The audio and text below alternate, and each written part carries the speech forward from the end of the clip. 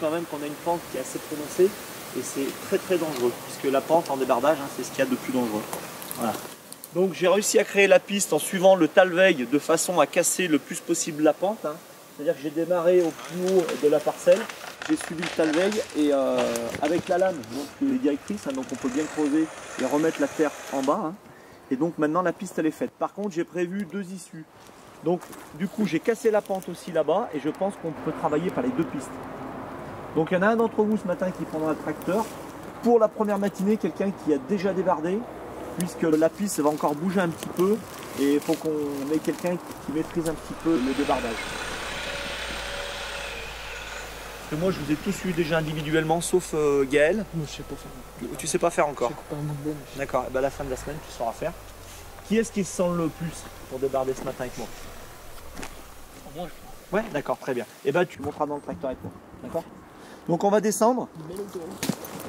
Alors, on a un tracteur agricole équipé forestier, donc il est important de faire une belle piste de façon à, à pouvoir travailler assez rapidement. En plus, vous avez vu, on a de la chance. Qu'est-ce que c'est comme terrain, ça, à votre avis? Terre végétale. Ouais, c'est de la terre noire hein, qui se travaille très très bien. Je suis pas tombé sur les rochers. Hein? Donc à partir d'ici, on mettra deux ou trois douglas là, de façon à ce que si le tracteur il parte un petit peu, on se cale sur les arbres.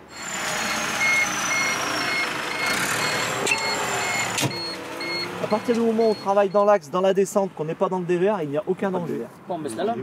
Voilà, s'il y a un problème quel qu'il soit, vous avez trois points de freinage. Vous pouvez me les remémorer La lame, La lame, le treuil, le frein, le treuil et le frein. Puisque quand on travaille dans la pente, systématiquement quand on descend du tracteur, qu'est-ce qu'on fait C'est la lame et le treuil. Frein à main, treuil, lame. Rappelle-moi les règles de sécurité pour travailler en pente. Ben, mon inverseur, mon frein à main, ma lame baissée et mon treuil euh, baissé.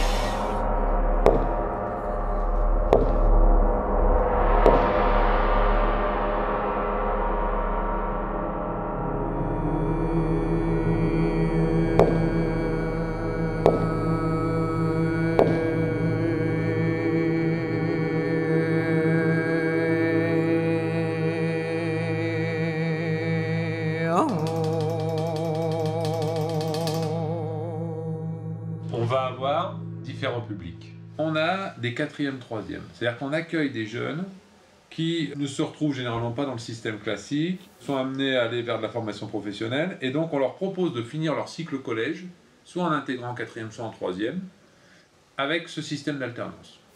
Ils vont bénéficier d'une vingtaine de semaines en entreprise, qu'ils vont pouvoir effectuer dans n'importe quel domaine professionnel. Tout le reste, c'est des jeunes qui sont dans la filière forêt-bois.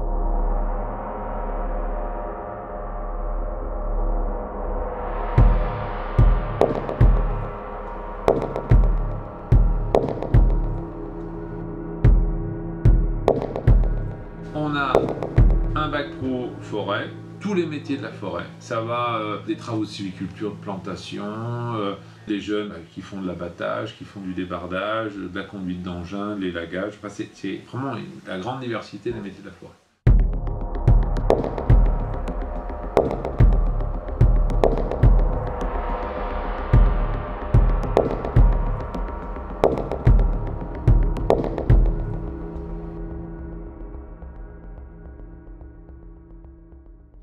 C'est une formation en trois ans. Et donc tous ces jeunes-là ont un statut stagiaire. Ça, ça représente cette année 90 jeunes.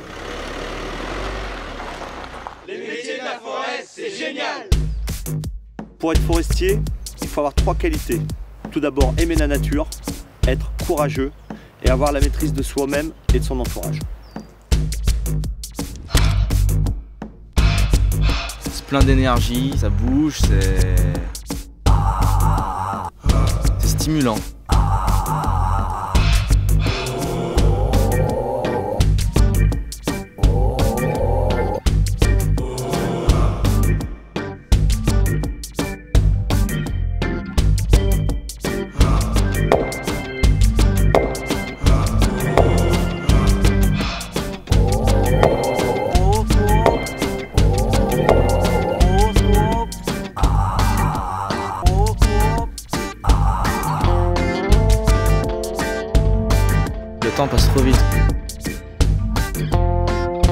Bien.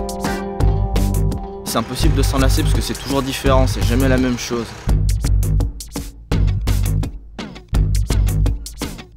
En fait, c'est jamais pareil, c'est ça qui est bien.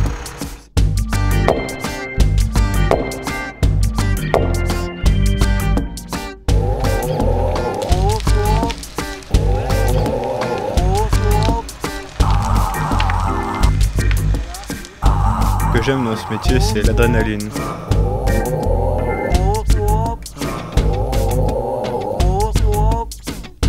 L'adrénaline.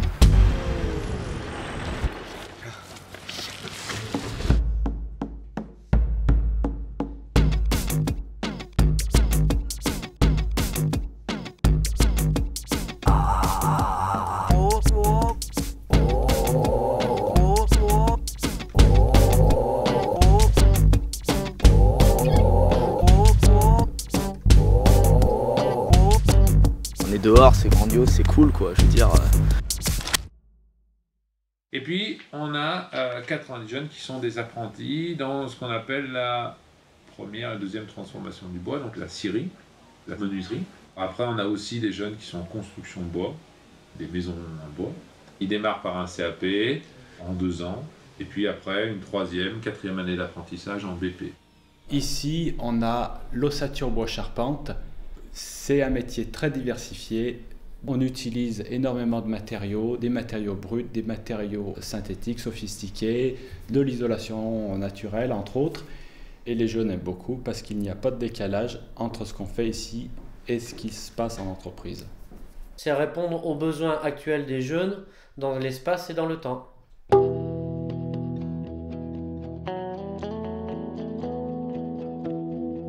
Être charpentier, constructeur bois, c'est un peu le vieux rêve de l'homme, c'est partir d'une matière brute et construire la maison de ses rêves. Ce qui me fait plaisir, c'est de voir la même étincelle dans les yeux des jeunes que celle que j'ai eue, que j'ai ressentie quand j'avais le même âge qu'eux. Et ça, euh, c'est vraiment le, le plaisir d'enseigner.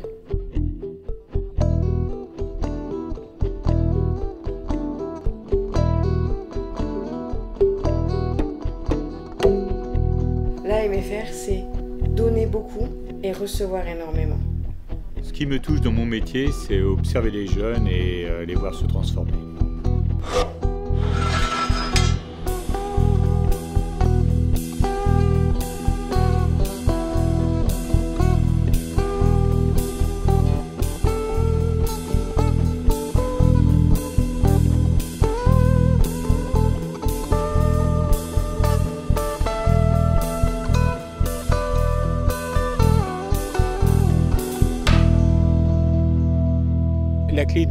Réussir sa formation et réussir son métier, à mon avis, c'est la motivation. Et les qualités, c'est la patience, c'est l'organisation, la précision, être méticuleux, c'est avoir une certaine vision dans l'espace, être capable de se représenter le futur objet qu'on va réaliser. Voilà, c'est un petit peu tout ça.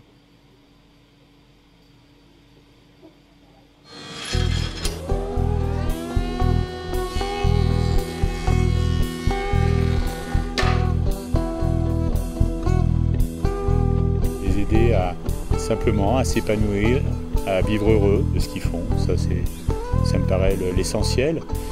Et puis de le partager. euh, voilà.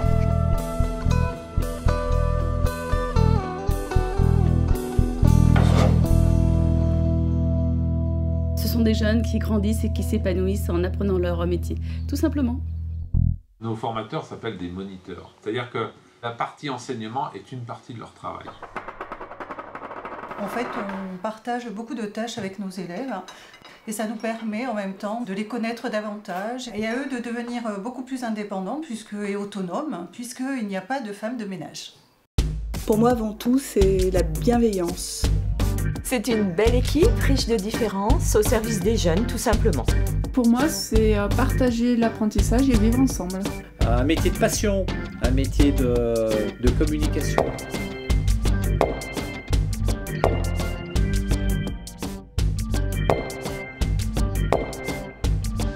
Moment d'ailleurs, nous accueillons Alexandra Santander et Didier Boya de la compagnie Sueño en la Fabrica en résidence artistique. Comme Alexandra et Didier sont dans une démarche entre science et art, ils ont eu la formidable idée d'inviter Francis Allais, qui est un éminent botaniste et qui va rencontrer nos jeunes pour leur parler tout simplement de l'arbre. Alors, les chantiers dont j'ai l'habitude, c'est dans les tropiques. hein. C'est les forêts tropicales humides, c'est le Brésil, le Gabon, le, Laos, etc. Et quand je vois abattre les forêts tropicales, ça me dégoûte, ça me répugne. J'en veux pas du tout aux mecs qui coupent les arbres, hein, parce que ça c'est leur boulot. À qui j'en veux, c'est les commerçants du bois tropical. Ici, j'ai pas du tout cette impression de, je trouve ça normal votre activité parce que c'est pas des forêts. C'est pas du tout des forêts. Ce que j'ai vu le long de la route là, tu m'as parlé de forêt à un moment. Mais c'est pas des forêts. C'est pas ça une forêt. C'est des plantations d'arbres. On les coupe, mais parce qu'ils ont été plantés pour être coupés. Donc ça ne m'inspire pas du tout d'antipathie comme l'exploitation d'une forêt naturelle. Ça c'est complètement différent. Donc je ne viens pas animer de sentiments de veux dire comment mais vous coupez des arbres. Non, non, c'est des... c'est des arbres qui sont faits pour ça. Dans le fond, c'est comme de couper du maïs. C'est un peu plus dur.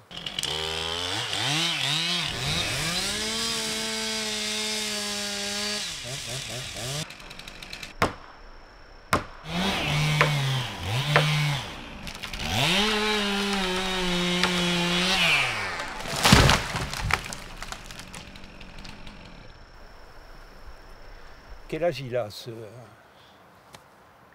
Ils ont tous été plantés, n'est-ce pas? Donc on connaît leur âge. Oui. Le, le grand qu'on a devant nous là. Ce Douglas, il a environ 45 ans. 45 ans. Bon, J'ai une question pour vous. Il y a 45 ans, à cet endroit-là, il n'y avait rien. Mais maintenant, il y a pas mal de mètres cubes de bois.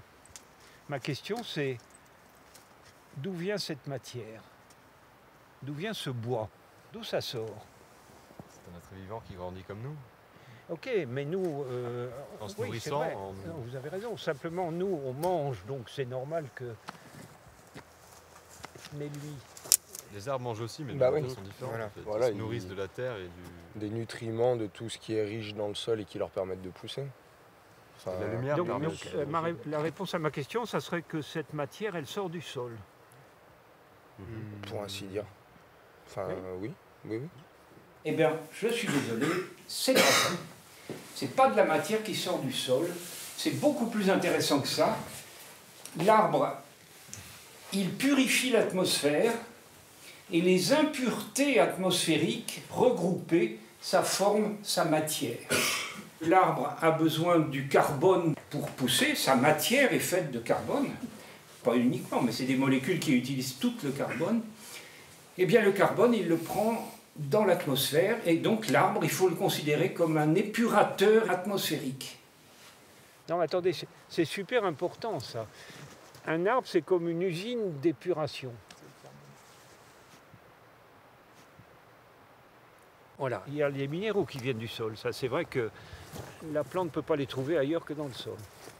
Il faut comprendre qu'un arbre, ça épure l'atmosphère et les déchets qui sortent de cette épuration, eh bien les voilà.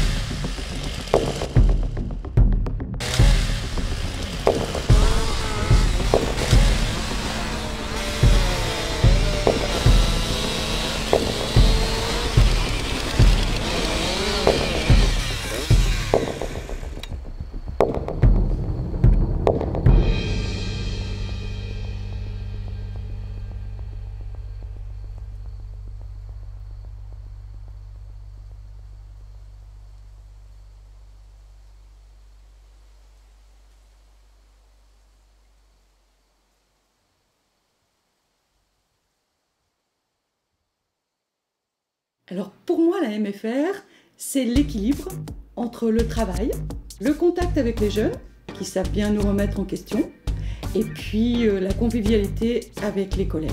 C'est ma seconde famille. C'est une belle occupation pour mon cœur et mon esprit.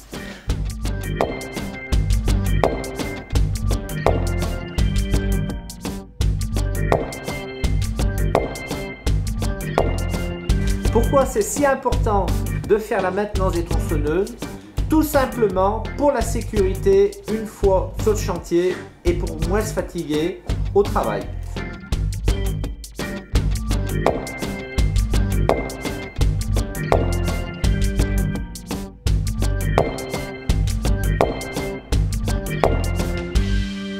C'est l'idée de transmettre trois choses. Passion, savoir-faire, savoir-être. Point.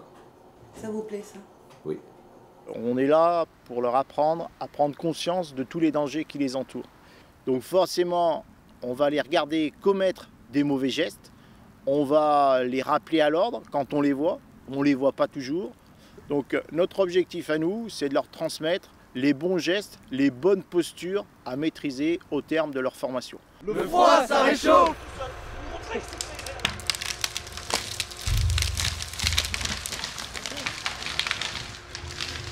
Dans la forêt, on n'a pas le droit à l'erreur. Si le débardeur avait euh, seulement effleuré la grume, elle aurait pu rouler jusqu'en bas, écraser les deux bûcherons qui étaient en aval. Ah non, on ne rigole pas avec la forêt. Jamais. C'est trop dangereux. Si on met indéfiniment du Douglas ici, ça finira pas plus marcher, puisque on, sort, on, on extrait ce que le Douglas lui-même a fabriqué. Donc, au bout d'un certain temps, il ne pourra plus en fabriquer de nouveau parce qu'il manquera des, des- Des les ressources. éléments qui lui permettent de, de faire ça. Donc, euh, comme dans toute agriculture, il serait, à mon avis, raisonnable de changer de temps en temps d'arbre. C'est pas parce qu'on est bûcheron qu'on va faire n'importe quoi, au contraire. Dans une forêt naturelle, on va plutôt éclaircir pour permettre aux petits arbres de prendre du volume. Alors que dans une plantation de Douglas, qui elle est faite pour être exploitée, on va couper tous les arbres pour pouvoir faire du bois. Voilà, en fait, il faut faire une gestion forestière euh, équilibrée. Équilibrée, ouais. Faut que ça, faut que ça, faut que ça, faut qu'il y ait un avantage pour tout le monde en fait. Que ce soit euh, pour nous, pour la faune, la flore, la planète, quoi. Voilà. On reçoit des jeunes euh, qui parfois ont eu des, des parcours ou des relations avec l'école euh, très compliquées.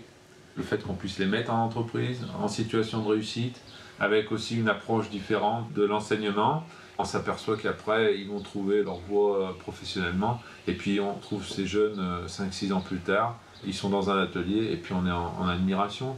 En admiration par rapport à ce qu'ils sont capables de faire. Et euh, bah, c'est formidable, parce que on, sent vraiment, euh, vraiment, vraiment, vraiment utile. D'où vient cette passion que vous avez? J'ai été bûcheron quand j'étais gamin. Donc les plantes, pour moi, c'est normal que ça soit une passion. Le problème, c'est qu'on a souvent des passions quand on est gamin et on les perd. On les, laisse tomber. C'est dommage. Moi, je crois qu'il faut juste euh, s'accrocher aux passions des gamins. J'aime la formation de bûcheron et donc le métier de bûcheron parce que j'adore la nature et j'adore être dehors. Et contrairement aux clichés, on détruit pas la nature et on la protège en fait. On, on l'aide à se développer. Et j'en suis fier.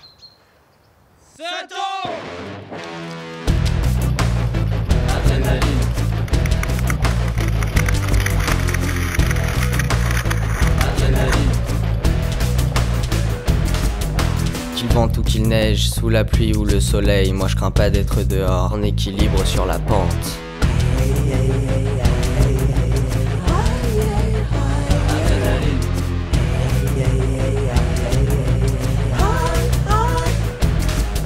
J'aime l'odeur de la résine et le bruit de ma machine. Dans mon corps qui se dépense, s'accumule la fatigue, puis soudain le silence. C'est le soir, et je suis calme. Je l'ai fait et demain je recommence en équilibre sur la pente. C'est le soir, et je suis calme. Je l'ai fait, et demain je recommence en équilibre sur la pente.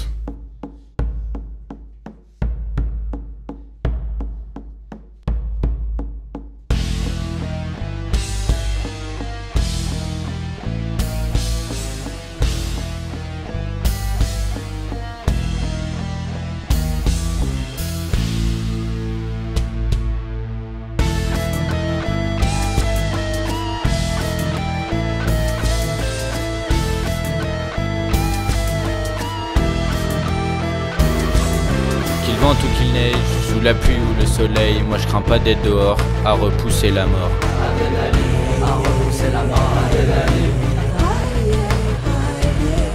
J'aime l'odeur de la résine et le bruit de ma machine. Dans mon corps qui se dépense, s'accumule la fatigue, puis soudain le silence. C'est le soir et je suis calme. Je l'ai fait et demain je recommence en équilibre sur la pente. C'est le soir et je suis calme. Je l'ai fait et demain je recommence en équilibre sur la pente. Ça représente quoi pour toi la MFR Bah, moi, ça représente un joli terrain de jeu où chacun peut euh, s'exprimer. Voilà. Bah, c'est la dernière ligne droite avant euh, le crash.